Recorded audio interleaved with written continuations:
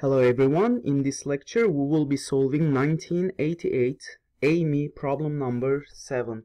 Here's a view of this problem. In triangle ABC, the tangent of angle CAB is given as 22 over 7.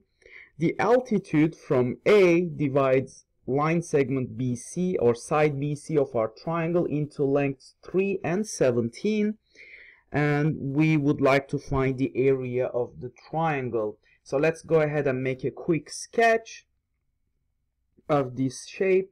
So we have our triangle something like this. So we are given A, B, C. This is our triangle and we are told that the altitude from A divides BC. So I go ahead and drop the altitude from A to BC and let's call this point as D. So what I know is BD is 3 and DC is 17. Let's call this altitude as H. So we are given that tangent CAB is 22 over 7. CAB would be the whole angle here. We realize that it consists of two angles here. You can call them alpha and beta. So therefore, um, 22 over 7, which is equal to tangent uh, CAB, is the same as tangent uh, alpha plus beta actually. Now I can go ahead and uh, use the addition formula for the tangent func function. I get tangent alpha plus tangent beta all over 1 minus tangent alpha tangent beta here and from here um, obviously I can by just looking into the sketch I realize that tangent alpha is simply 17 over h uh, 17 over h and tangent beta is simply 3 over h 3 over h.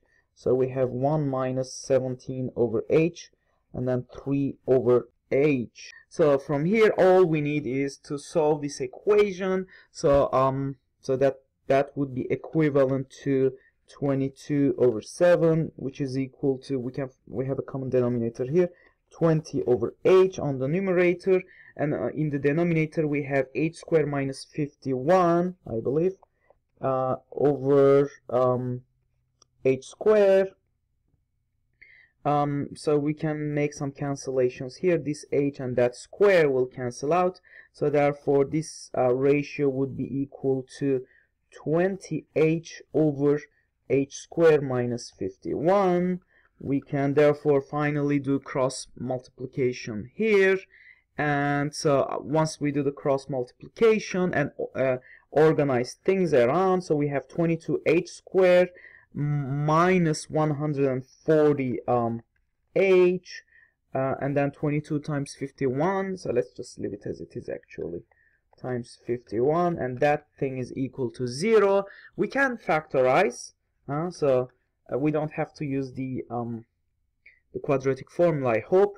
So therefore this implies that h is simply uh, so the only positive one is this one 22 over 2 which is 11 and as a result the area itself of our triangle um, ABC is simply base times height over 2 so 20 times 11 over 2 which is 110 that's our answer and we are done